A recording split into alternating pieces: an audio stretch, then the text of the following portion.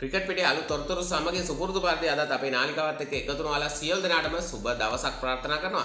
ඉතින් ශ්‍රී ලංකා කණ්ඩායම සහ කොදෙව් කණ්ඩායම අතර 20යි 20 සහ එක්දින තරඟාවලිය ආරම්භවීමට තවත් දින 10කටත් වඩා ඉතාමත් අඩු කාලයක් පමණයි ඉතිරි වී තිබෙන්නේ.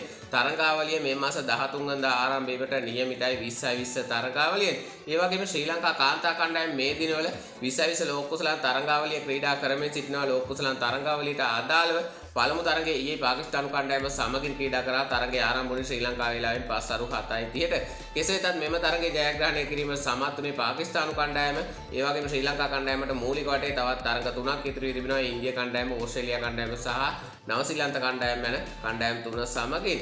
ඒ වගේම ශ්‍රී ලංකා කණ්ඩායම සහ බටහිර කොදෙව් කණ්ඩායම අතර තරගාවලියේ මුලින්ම පැවැත්වීමට නියමිත වී තිබෙන්නේ 20 20 තරගාවලිය. ඒ වගේම මෙම තරගාවලියට අදාළව ශ්‍රී ලංකා ක්‍රිකට් ආයතනයේ අභ්‍යන්තර කටයුතු ආරංචි මාර්ගවලින් අප වෙත වැදගත් තොරතුරු කීපයක්ම ලැබිලා තිනවා. එම තොරතුරු වල සඳහන් වී තිබෙන්නේ ශ්‍රී ලංකා කණ්ඩායම සහ පොදෙව් කණ්ඩායම අතර 20 20 තරඟාවලිය සඳහා දසුන් සානක කුසල් ජනිත් පෙරේරා දිනේෂ් චන්දිමාල් දුස්මන්ත චමීර වැනි ක්‍රීඩකයින් මෙවර ක්‍රීඩා කිරීමට නියමිත බවට ඒ වගේම ඉන්දිය කණ්ඩායමට එරෙහිව තරඟාවලියේදී ශ්‍රී ලංකා කණ්ඩායමේ ප්‍රධානතම වේගපන්දු යවන්නන් වන නුවන් තුෂාර මතිෂ පතිරණ වැනි ක්‍රීඩකයින්ට ක්‍රීඩා කිරීමට අවස්ථාවක් ලැබුණේ නැහැ සිදු ආබාධ තත්ත්වයන් නිසා ඉතින් ඔවුන්ට බටහිර ඉන්දිය කොදෙව් කණ්ඩායමට එරෙහිව තරඟාවලිය ක්‍රීඩා කිරීමට හැකිවන බවට ශ්‍රී ලංකා ක්‍රිකට් ආයතනයේ අභ්‍යන්තර කටයුතු ආරංචි මාර්ග තොරතුරු වලින් අප වෙත ලැබිලා තියෙනවා. ඉතින් මේ නිසා බටහිර ඉන්දිය කොදෙව් කණ්ඩායමට එරෙහිව 20 20 තරඟාවලිය සඳහා ශ්‍රී ලංකා කණ්ඩායමේ 20 20 හොඳම ක්‍රීඩකින් 11 දෙනාට ක්‍රීඩා කිරීමට වැඩි අවස්ථාවක් හිමි වෙයි කියලා අපිට ප්‍රකාශ කිරීමේ හැකියාවක් පවතිනවා. ඒ වගේම දෙරට අතර තරඟාවලියේ යාවත් කාලීන වන සියලුම තොරතුරු සමගින් අපිත් එක්ක එකතු වෙලා ඉන්න කියලා